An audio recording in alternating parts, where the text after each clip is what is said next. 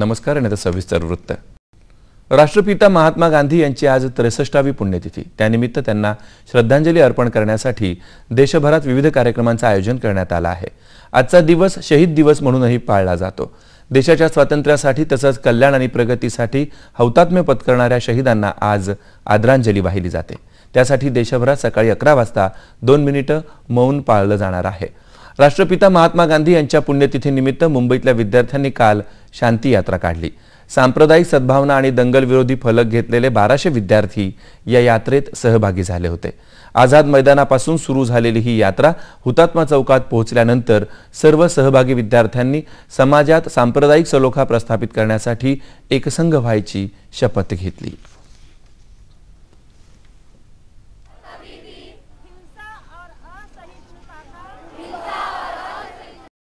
याबरोबरच हे बातमीपत्र संपलं. पुन्हा भेटूया. दुपारी अडीच वाजता सह्याद्री उपग्रह वाहिनीवर.